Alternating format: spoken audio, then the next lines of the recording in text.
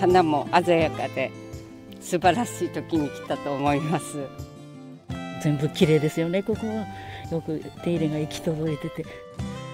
今まで家の中でこもっていた方々も本当にうわ良かったなって思えると思います。絶対楽しんでいってほしいです。先週25日に開花したばかりの忍山にある桜の標本木。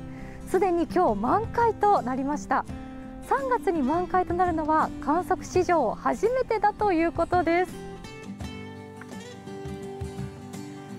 春本番。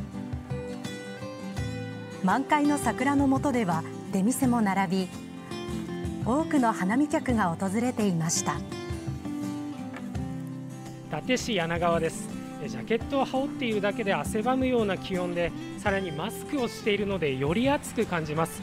そしてこちら川沿いでは涼む人たちの姿も見られます。県内で最も気温が高くなった伊達市柳川。25度を超える夏日となりこのほか6つの地点で3月の観測史上一番の気温となりました。春休みの中学生も半袖姿です。暑すぎですよね。急に暑くなって。